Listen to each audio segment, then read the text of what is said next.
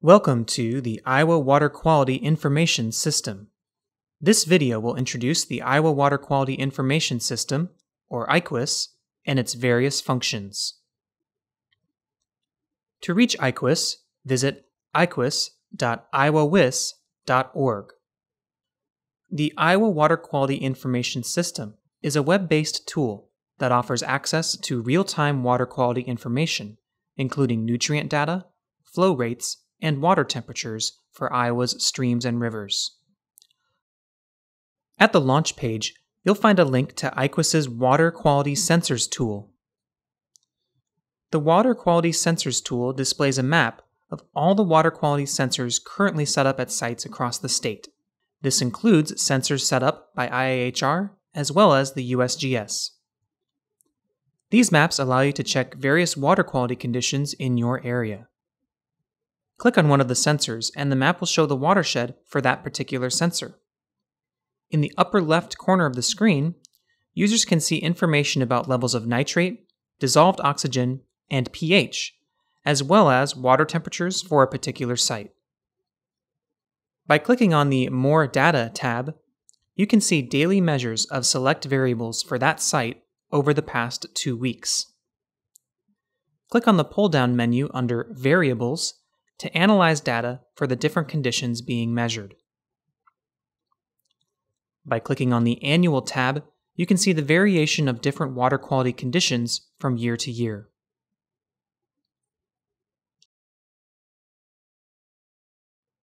Another way to access water quality information on IWQIS is by clicking the shortcut on the launch page called WQ Conditions. This will take you directly to a map of all the sensors in Iowa with data for nitrate levels. Click on any of the items under the Iowa Water Quality IS tab to see more parameters for water quality data.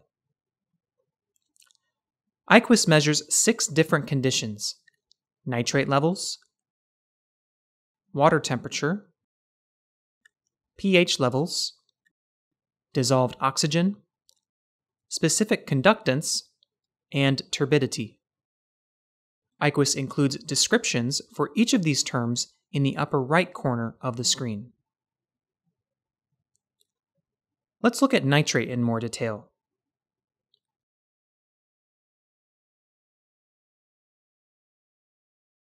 By clicking on the More Data tab, you'll be able to see data for different variables. Nitrate and nitrite graphs display the amount of nitrate or nitrite in milligrams per liter of water. Nitrate and nitrite enter waterways from soil and fertilizer runoff from farm fields, as well as from wastewater discharge and leakage from septic tanks. Discharge refers to how much water is flowing through a particular point in cubic feet per second. Load displays the total amount of a pollutant carried in the water at a specific point over a certain period of time. A large watershed will produce a larger pollutant load than a smaller watershed. The yield is the load per acre of a pollutant being released from a watershed area. IWQIS reports this number in pounds per watershed acre. This is a good way to compare pollutant loss between watersheds, even if they vary in size. You can see current load and yield data and also compare load and yield data from year to year by clicking on the Annual tab.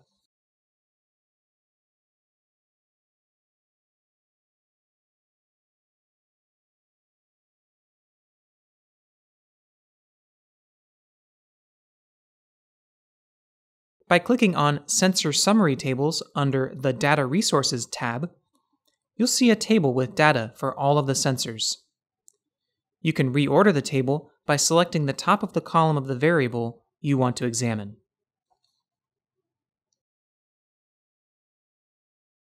At the launch page, you'll also find a shortcut to IWQIS's Stream Sensors function. This will lead you to a map of Iowa overlaid with buttons representing stream gauges placed by the Iowa Flood Center and the U.S. Geological Survey.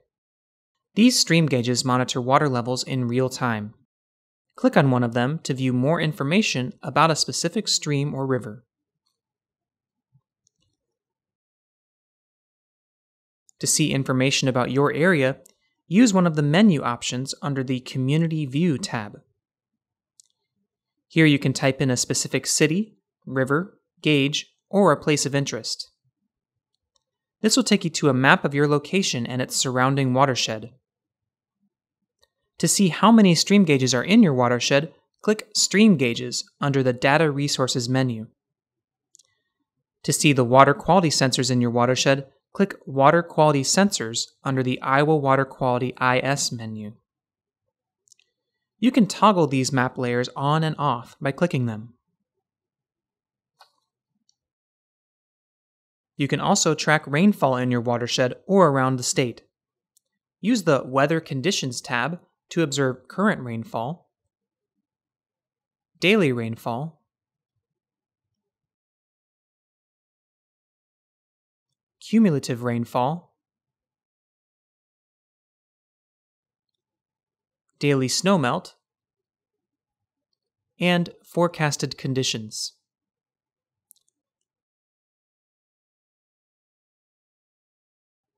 IWQIS includes a tool for sharing the useful information you've found with others. In the Info Panels tab, click Take Snapshot. IWQIS will create a snapshot link, which you can share with others by copying and pasting or through social media. This will allow you to collaborate with others by letting them see exactly what you're seeing.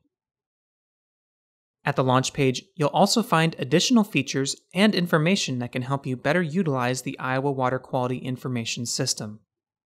Tools and Features provides a visual explanation of IWQIS functions. And Help and Tutorials will take you to a useful Frequently Asked Questions page.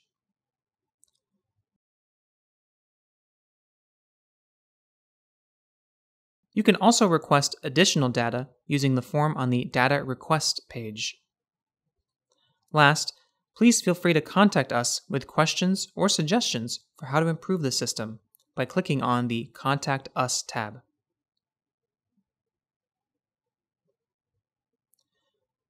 We hope this introductory video provides you with a basic understanding of the many features and tools available in the Iowa Water Quality Information System.